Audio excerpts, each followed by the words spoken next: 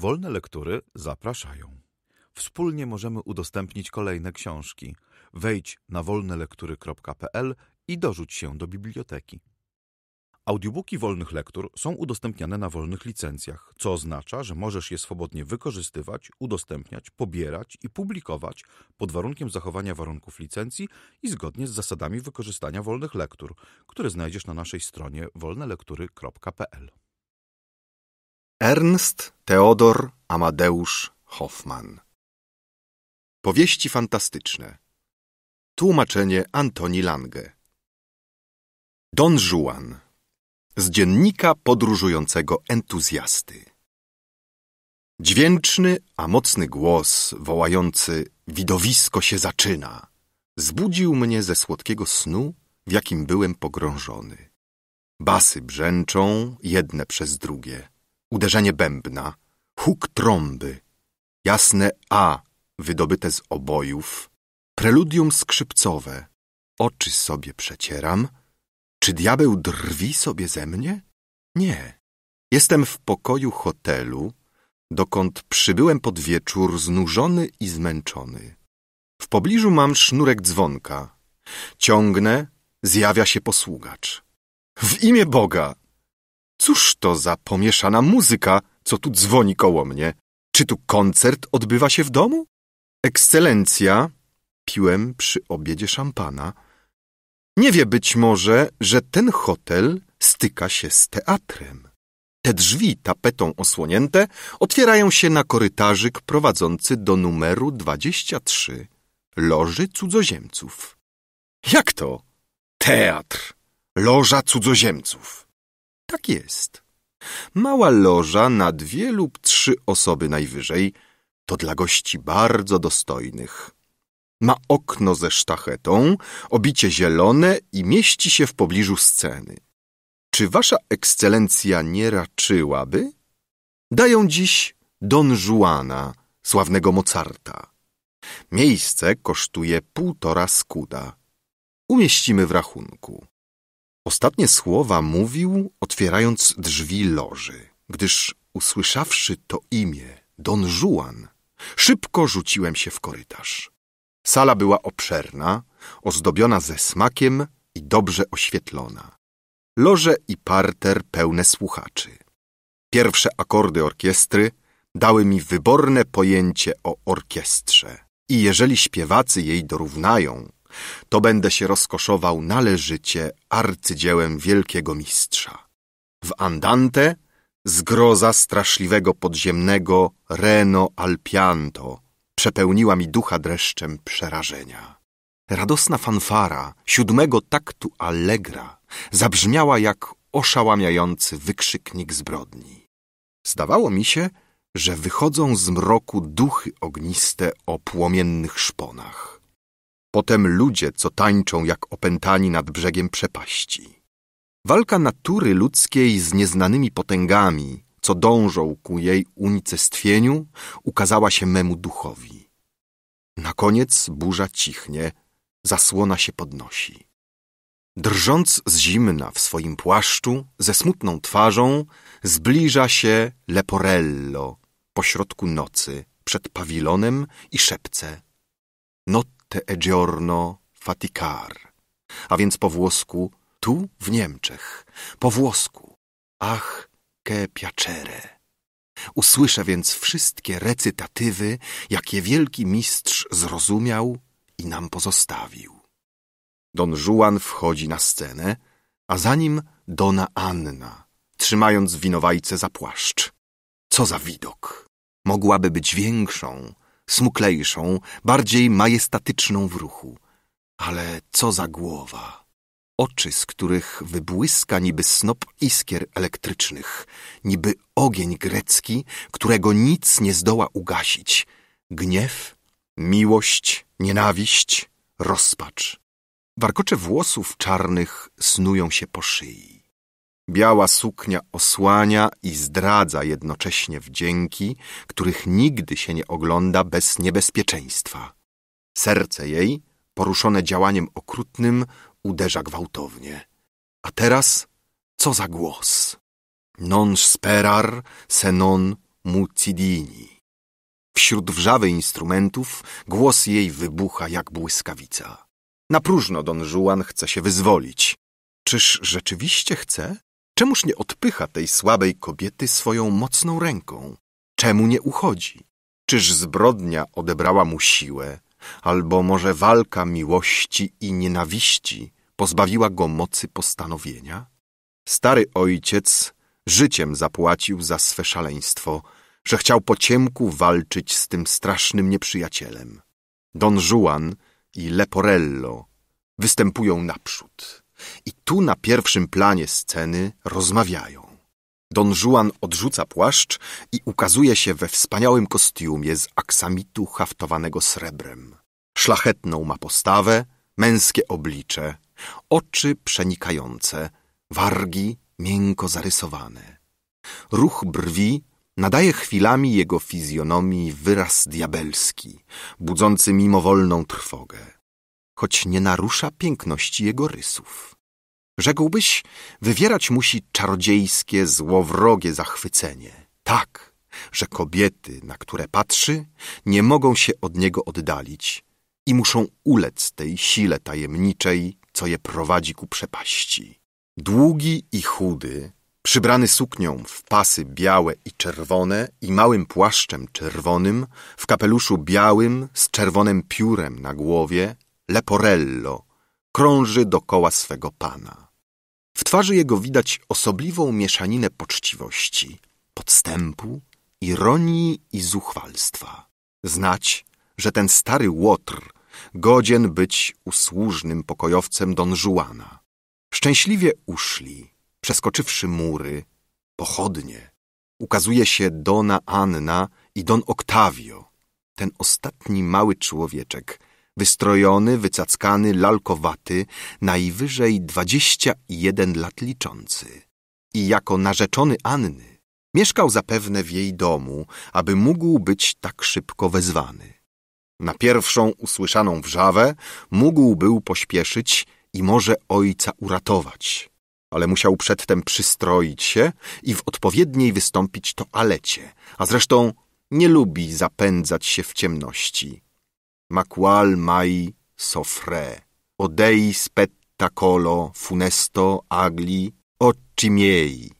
W rozdzierających tonach tego okropnego duetu i recytatywu jest więcej niż rozpacz. Nie tylko zamach Don Juana, nie tylko śmierć starca mogą wywołać takie akcenty.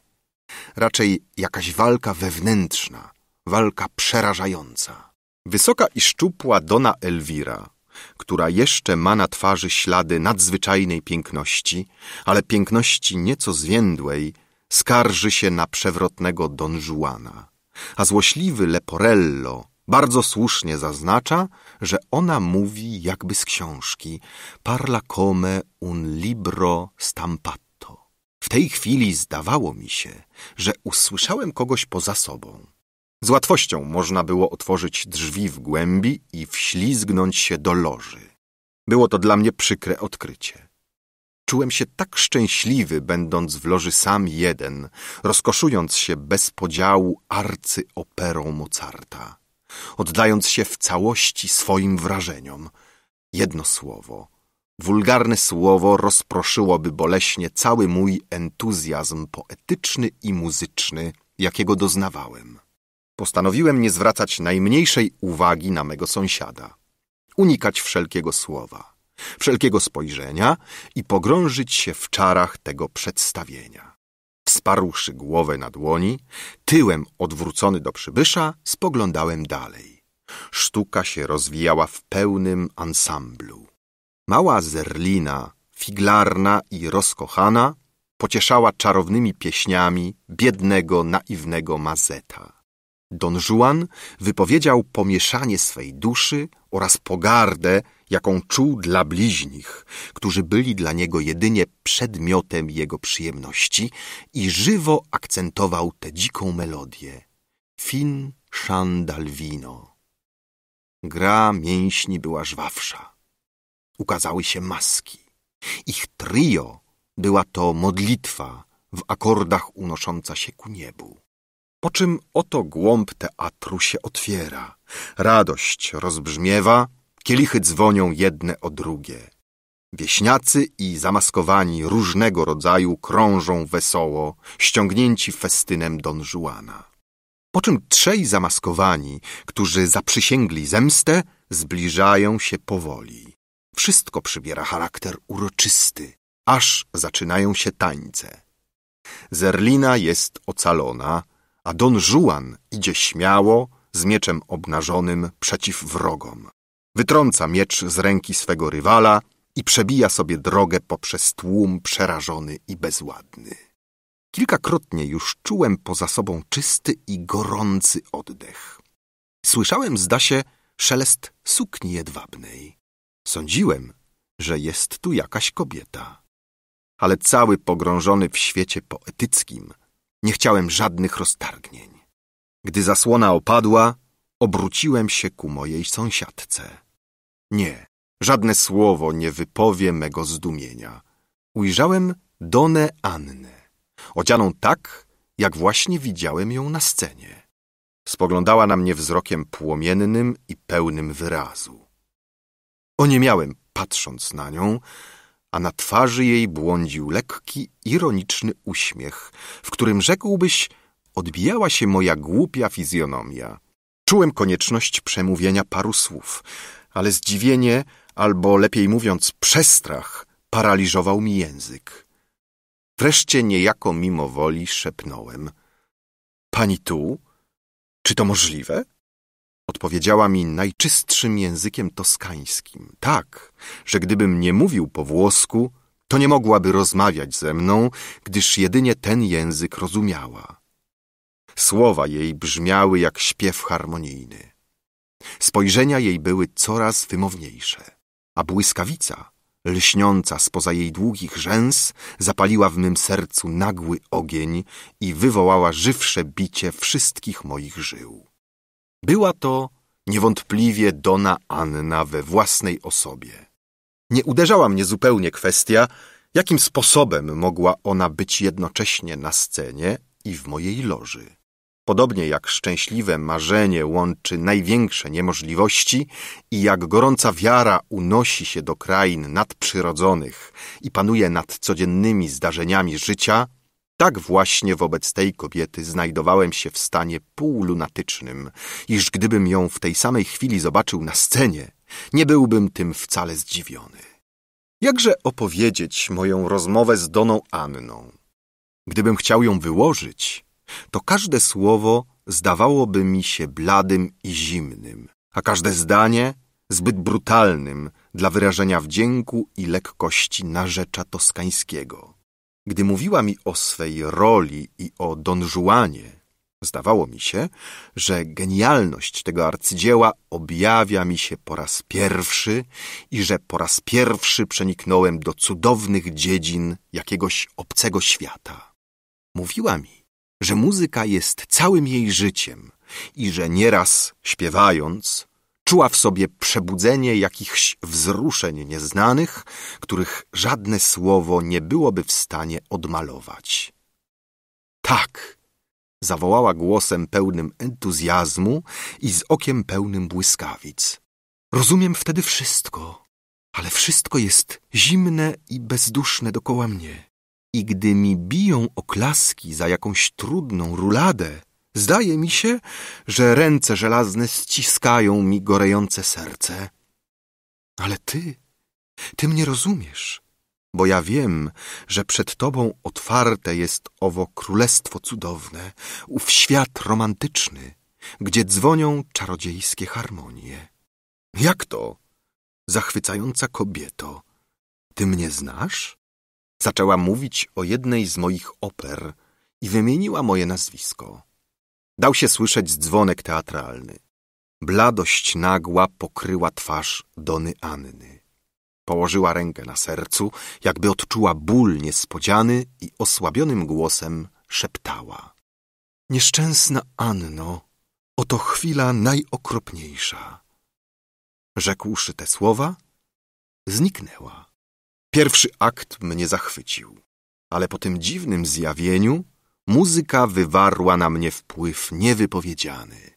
Było to niby długo oczekiwane urzeczywistnienie moich najpiękniejszych marzeń, jakby wszystkie przeczucia mojej duszy otworzyły się w harmonijnych akordach.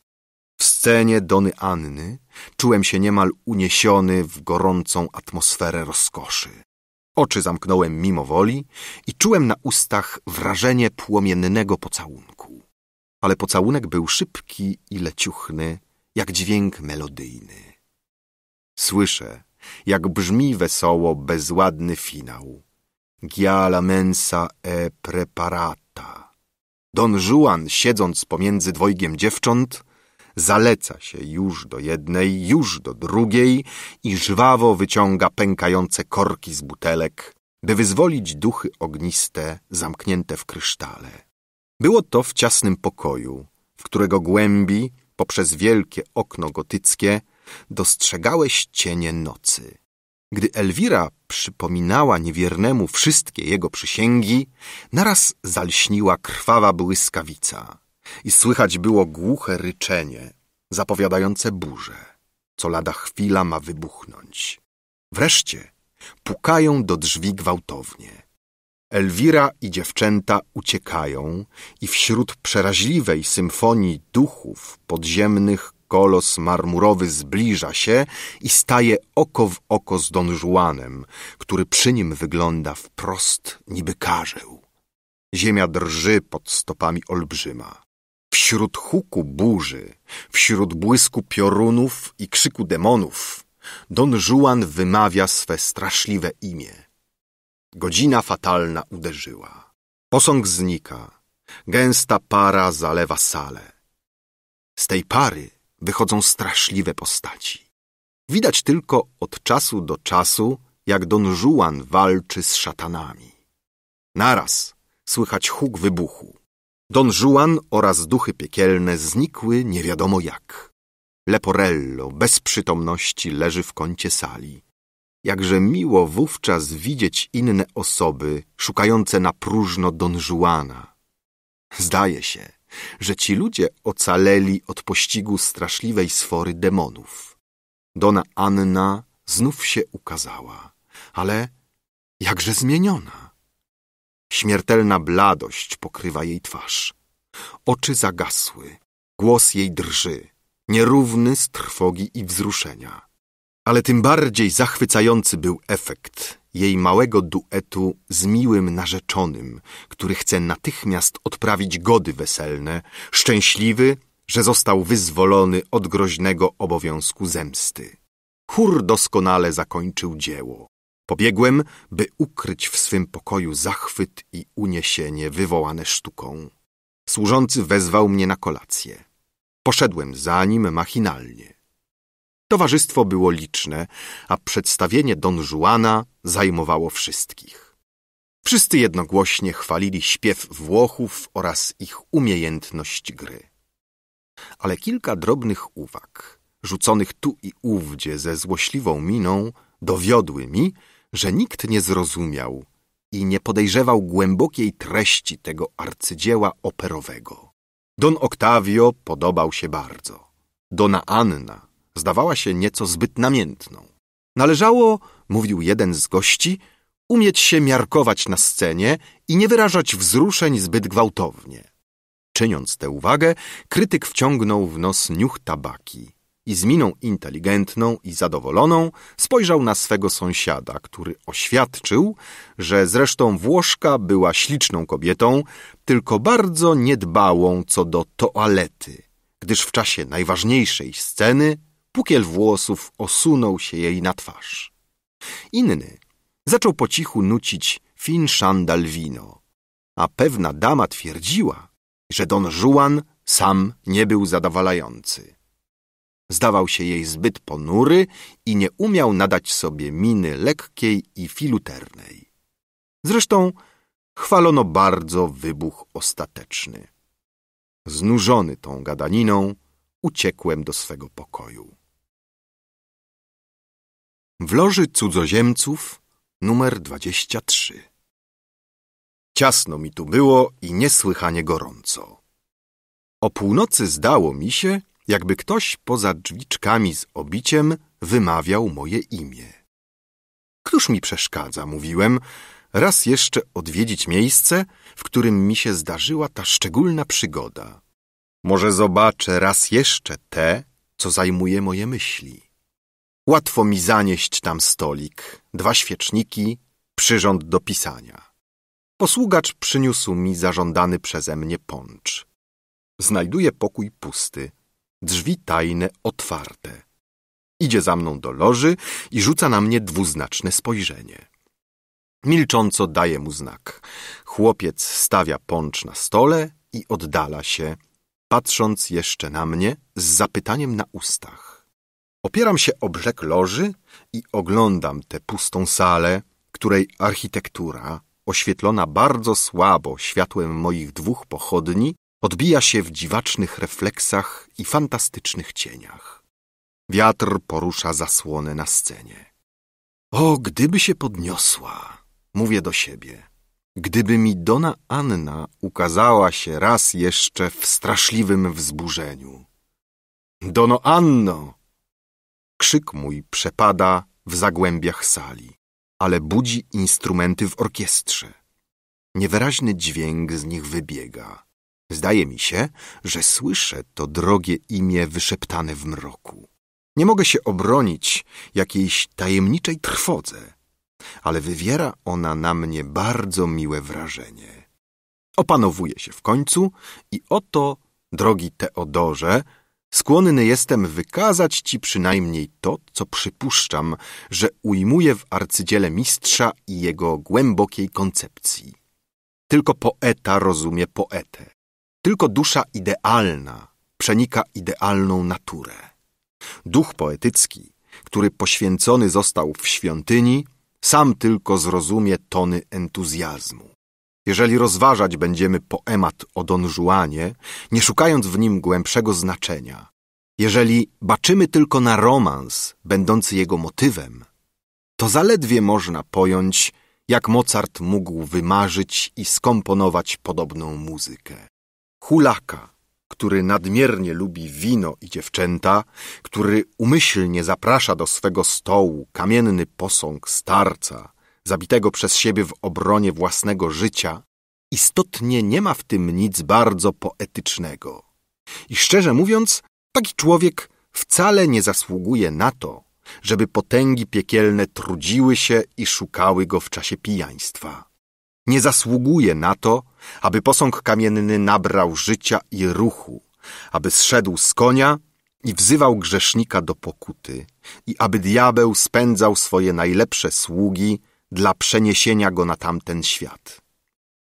Możesz mi wierzyć, Teodorze. Natura traktowała Don Juana jako jedno ze swych dzieci uprzywilejowanych. Dała mu wszystko, co podnosi człowieka ponad tłum, ponad trudy, ponad bezmyślne obliczenia i postawiła go w pobliżu esencji Bożej. Przeznaczyła go do zwycięstw i panowania. Dała mu postawę silną i majestatyczną.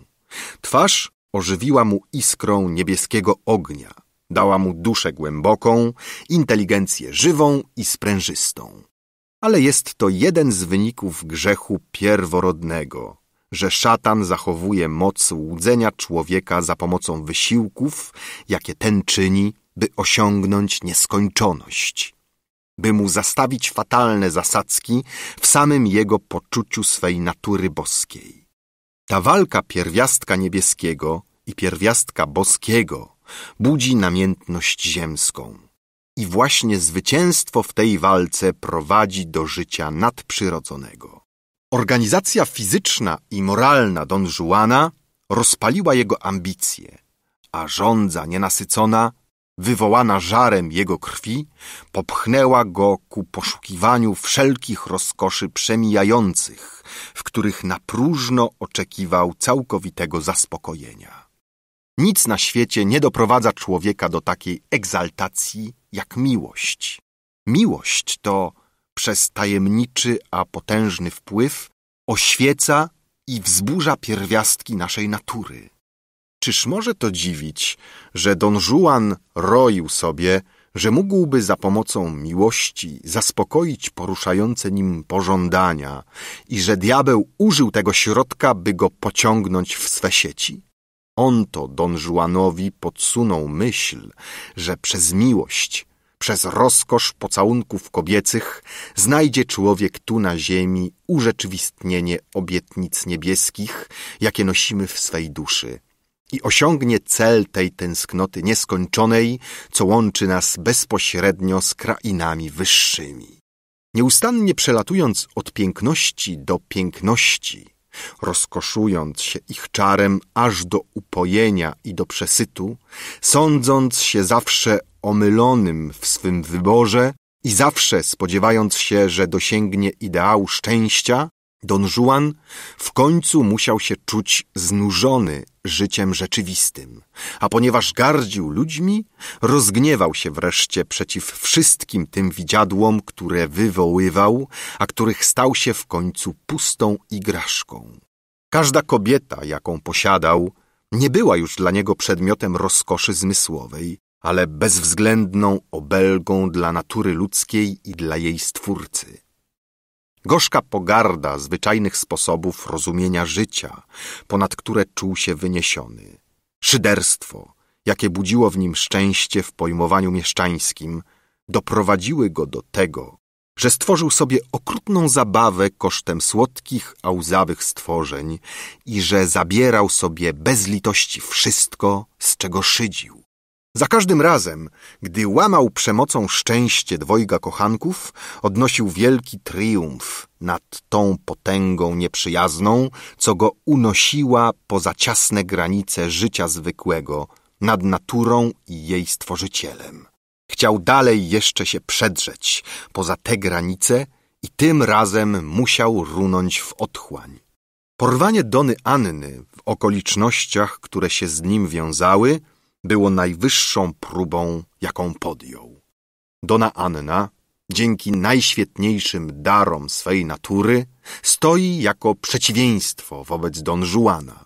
Jak Don Juan jest pierwotnie człowiekiem piękności i siły cudownej, tak Dona Anna jest kobietą boską, której czysta dusza wymyka się spod potęgi diabła. Demony mogły dotknąć jedynie jego życia ziemskiego i gdy jego zagłada jest już dokonana, zemsta niebios ma się dopełnić. Don Juan szyderczo wzywa na swą wesołą ucztę starca, którego zamordował i starzec nie gardzi wezwaniem. Przybywa do niego z zaświata, przypominając mu obowiązek pokuty.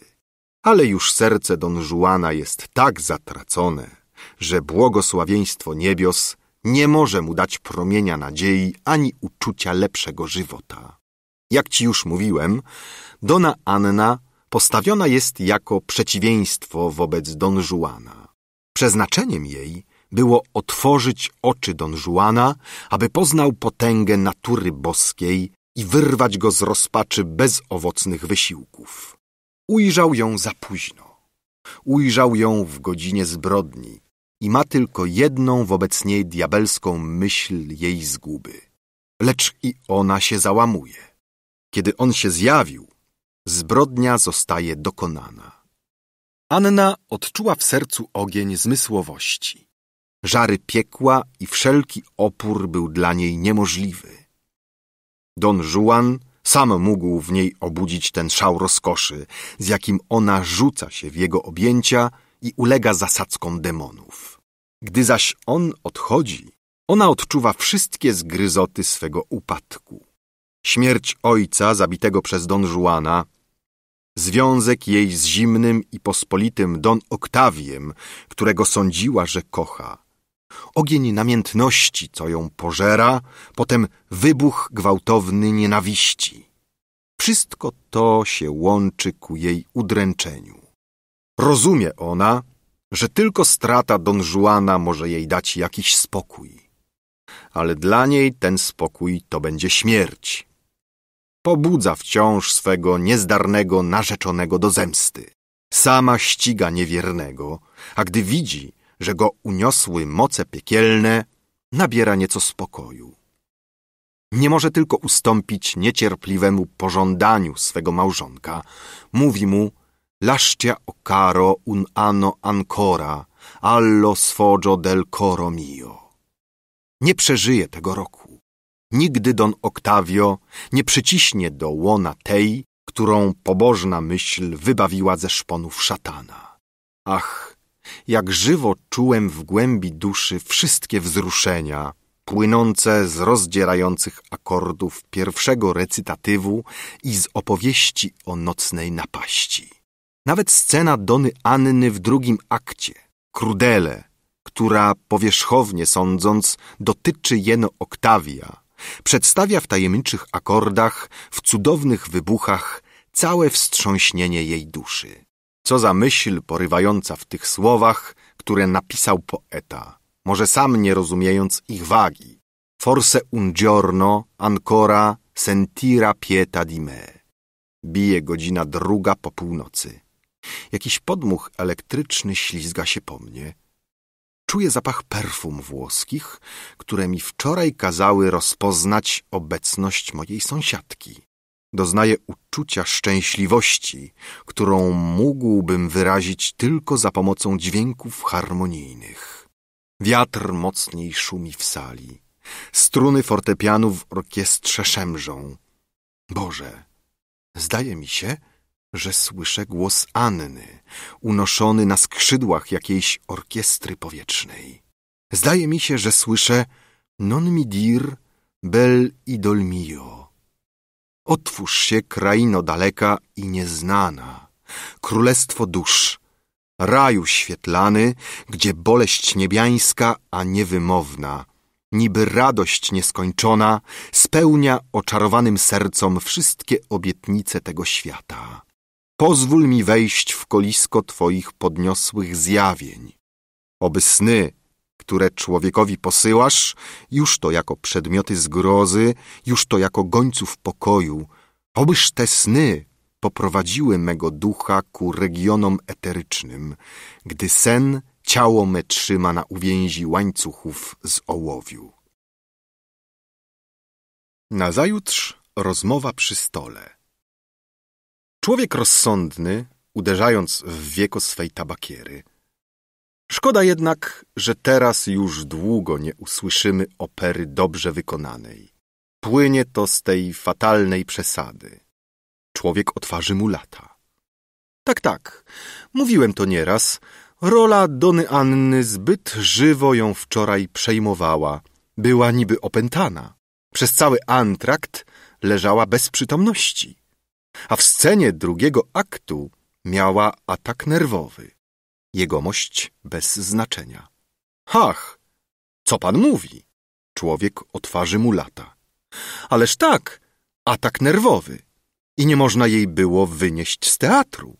Ja, na łaskę nieba, sądzę, że te ataki nie są niebezpieczne, toć usłyszymy znów signore.